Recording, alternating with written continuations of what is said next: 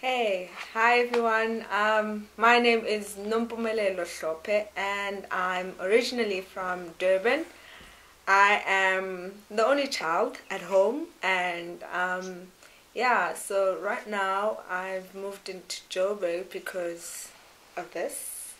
And um, before I even got involved in caving and doing um, going into caves and explore, exploring and stuff, um, I, I was studying in Durban um, via UNISA, which is the University of South Africa. That's where Nelson Mandela studied also. Um, it's like a correspondence university, so basically you can study and also work at the same time. And I did a degree in um, Bachelor of Arts in Information Science. And even though I went into that field, my heart was always in paleontology and archaeology. So um, I finished a degree and I moved into what I always wanted to do. And obviously, I'm still going to study further, and I'm hoping all that goes well.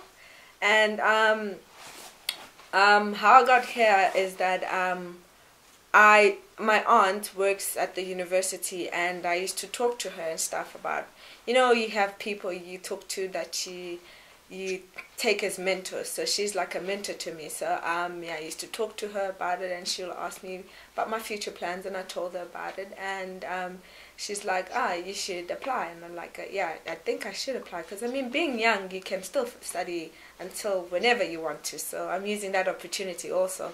Um, so yeah, that's what I did, and um, because I didn't have any experience in caving or such in my other degree, I had to start everything from scratch. So that's how I met um, Professor Lee Berger, who is like the man of this whole rising star thing. And um, yeah, he asked me a few questions about myself, and I told him, and I told him my interest, and he came up with the idea that how about I do caving and see how I like it, and then we'll look into what I do next. And so far, all I can say, it's been amazing. And even though I get a few bruises there and there, it's fun. And even though I'm scared of heights, also, I mean, it's always nice abseiling and screaming and shouting. But the end of the day, good works job, it's great. And um, next year, hopefully, um, we're just going through the whole application process. Um, I'll be doing my honors in archaeology and paleontology. And I hope all that goes well and I see myself soon, soon doing my PhD and wearing that red gown. That's awesome. Can you tell us a little bit about how or about what it is you're actually doing in the caving part of things? Because I think a lot of the audience back in Texas and in the United States have never caved themselves, so they really don't know much about it. So, and, and since it's still kind of new to you, I think it might be neat to hear what, what it is you're actually doing down in the caves. Um, well, basically, exploration team is like, I don't, I don't know, like I call them the amazing people because really amazing. And what basically what we do is that, um, let's say in a week, like on a Monday, um, we know that we're in the field, walking on the field, and we go looking for caves.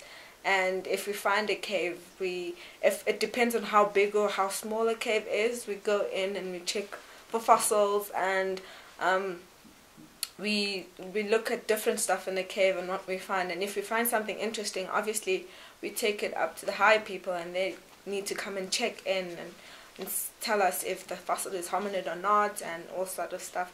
But um, most of the guys in my team they can actually like they can actually tell if the fossil is hominid or not but if we're not sure it's better if we just ask. And um, during other days we go into caving. Basically what caving is you go into a cave and um, you either survey to look for fossils and just enjoy the nice warm air in the cave because outside is really cold. Yes because it's winter here in July which for those of you in North America who may be seeing this that seems a bit unusual. Yeah yeah so what you said um, you had an interest in paleoanthropology from a while back. Mm-hmm. I'm curious, what what got you interested in it to begin with? Um, well, my school, because I went to a girls' boarding school in Durban. Um, my school is a historical school, so it's part of the his, historical sites um, thing. So um, when uh, we had like events and stuff. And i used to work at the school. Like i used to give up my breaks and go to work at the school museum and archives. So um, there was a time when we took a trip and when we went to, we went to um, to the original homestead of the founder of our school. And um, which he was also an American missionary by the way because our school is an American um, it was an it's an American missionary school. And um, when I, we got there, I, I got to meet a, uh, a guy who was an archaeologist from Limpopo. And the way he talked about it and his interest in it, and obviously me being in love with old stuff, um, I stick to the I, I stuck to that, and that's how I fell in love with the whole field. That's neat. And here uh, behind you, we have who's that coming up? That's me, Rick. He's, Oh, that's Rick. Okay. he's ruining So- my moment of I'm fame. sorry, I'm I know. sneaking past. Enjoy You- the you- fleas. So, and you can see we have a very fun team. And what's it like working with this team? And you're the only one woman on the team, right? Yep, I am. It's actually very fun. It's actually very nice to be the only girl in the team because, I mean, they protect you a lot. And also at the same time, they're trying to make you tough and all. And they always make fun of me somehow. But I, I'll get my revenge soon. and I always tell them that we need to get another girl in the team because, uh, yeah. And I get excited every time when we come to Rising Star because I get to see Marina and stuff, yeah. Yes, and Marina, who who hopefully folks will get to meet in another interview, is basically now the, the lead excavator. Yep. And so, um, so how many caves do you think you've gotten to explore since you started working on the exploration team? And I should have asked, when did you start working on the exploration team? Um, It sounds I- like it was recent. Yeah, originally I started in February this year. Okay, and it's now July. Cool. Yeah, it's, uh, it's July, so it's basically it's been six months for me, and yeah, so I've lost count of how many caves actually. Yeah, it's quite a few, but not as many as the other guys have been to. So, but it's it's been amazing. It's been really fun. It's been really fun. Yeah. Well, great. Thank you so much for your time. I know you have to get back down underground to help out with um, with the excavations. Yep. But I appreciate your time and sharing with us. Thanks. Thanks a lot.